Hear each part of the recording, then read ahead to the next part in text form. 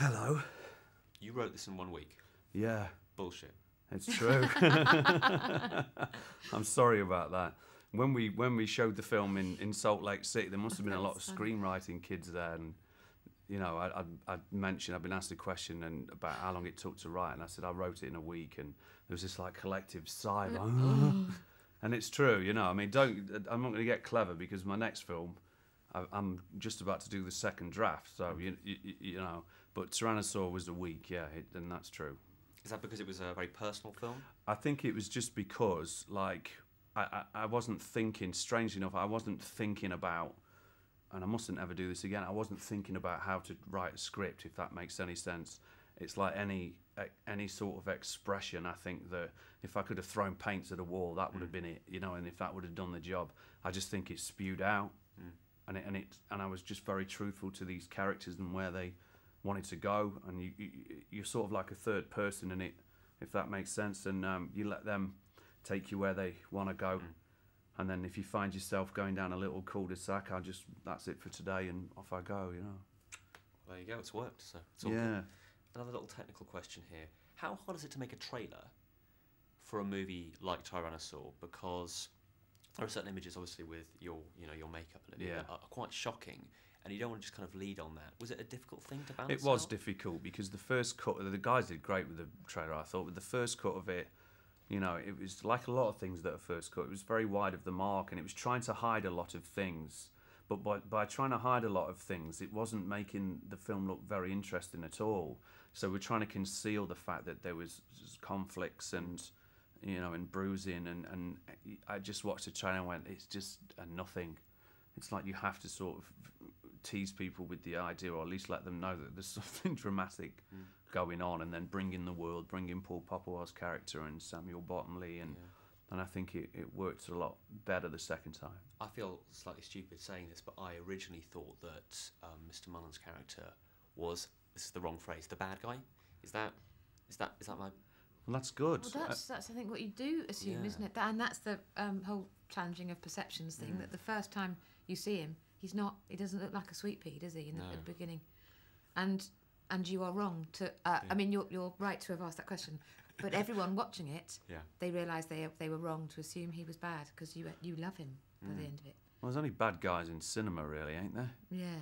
You know, good old cinema. But You know. But yeah, you were Right to be wrong. right to be wrong. That, Yeah. That's yeah. This is another technical question, but with your makeup, was that like a was that a continuity nightmare to to have that on and That was Nadia Stacey who uh, was makeup, uh, and she was. Uh, for me, if I had been doing it, it would have been a continuity nightmare. But for her, she ne- never even batted an eyelid, and she could do it in a flash. She was brilliant. She was on it and so creative, and she just kept coming up with ideas. And Yeah, she was great, and you, she was great. And you try to shoot as much in sequence as you possibly Mm. can. It's always difficult, but as much as you can, shoot the film in sequence too. yeah, so she didn't have to keep sort of changing Yeah. day up, three day bruises to fresh. Because yeah, that's part partly the the job of. Uh, That's a bloody job. right? So this is often asked in a kind of a glib way, but how much money are you putting on Olivia for the BAFTA? I, I, I don't want to put any money on anybody. 50 you know, because look, I Can't afford it. I can't afford it, and it's a totally another. It's another universe to me. Mm. And uh, y- y- you know, I, I think that it, it's the most incredible performance I've seen from an actress for actress for a very very long time. Mm. Um, I'm afraid that you know the nature of how these things work. You know, I think she should win everything. You know, but um, Even in things she's not been even in nominated stuff for. she's not been in. Mm. Yeah, best makeup removal and all that. But no, I think she should. But I won't put money on any of that stuff because it's a different game. You know, we, Mm. we were, we were talking in Toronto and, and you know talking to people and they were raising the idea of Oscars and all this stuff and you just go, and they said, well, you know, just to just to actually throw a pebble in Never the pool gonna of Oscar campaigns, you know, Yeah. it's two hundred thousand dollars, and that's yeah, you like have to pay for a campaign. well, it's like taking an ad out in the Burton Mail. You know, Mm. it's like it's not. You know, it's. I, I, I don't know. I just hope people watch it and, and choose to watch it and, and follow their gut and uh, for once, you know, stop being uh, led by blogs Mm. and online reviewers who prop up out of nowhere like little leprechauns. Not like you boys, because you're the you're the people listen to you lot. You're bona fide, man. That is the nicest thing anyone said to me. That. and again, this is kind of a generic question, but how did you guys first meet? And when you first met, was there an inkling of something like this ever happening, or was it just a hey, how are you? Yes, go I, on. I was so excited that Paddy was coming. To it was a rehearsal for Hot Fuzz, and and I'll be eternally pleased uh, that I was very very uncool.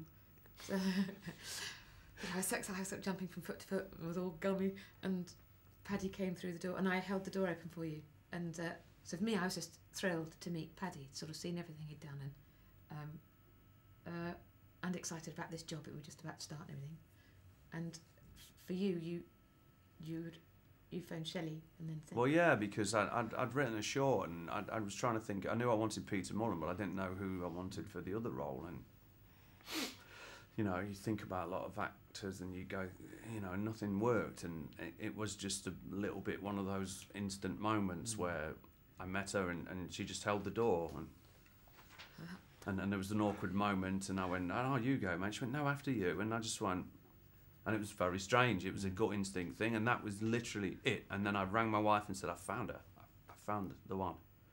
You know, and and I'd only seen bits and bobs of Olivia's stuff, and my, my wife knew who she was. You know, straight off the bat, and uh, I said, "You know, her. She's she's she's the one I want for this role."